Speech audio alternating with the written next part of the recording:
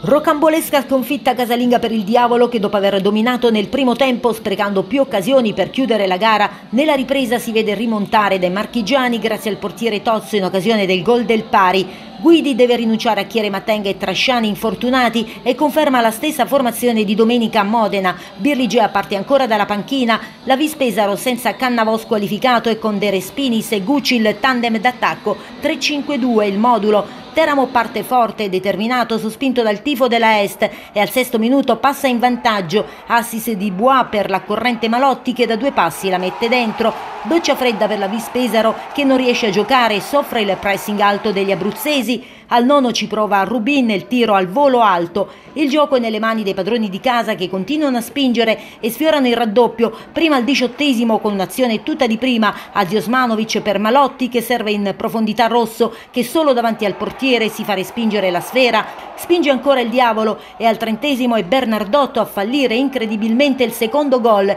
La conclusione viene deviata in angolo da un difensore. 1-0 alla fine della prima frazione. La ripresa è favorevole ai marchigiani che in pochi minuti capovolgono il risultato. Prima al 54esimo la Vispesaro pareggia su un disimpegno errato del portiere che esce goffamente e Gucci lo anticipa di testa. Il Teramo perde Mungo anche al 67esimo costretto ad uscire, gli subentra Rossetti. Un minuto dopo la Vis raddoppia con De Respinis che raccoglie il cross dalla destra di Saccani sfuggito ad Aziosmanovic e infila Tozzo per la seconda volta. Teramo ora in difficoltà, non riesce più la squadra di Guidi a costruire azioni degne di nota, nonostante gli ingressi di Birligea per Rosso e Rillo per Aziosmanovic. All'84esimo la conclusione di Malotti viene deviata dal portiere in angolo. Non è finita, la squadra di Guidi ci prova ancora in altre due occasioni, ma la difesa della Vis stringe i denti e regge e nei minuti di recupero ci prova Rigoni, altro miracolo del portiere, finisce 2-1, una sconfitta pesante per il Diavolo che resta nei bassi fondi della classifica e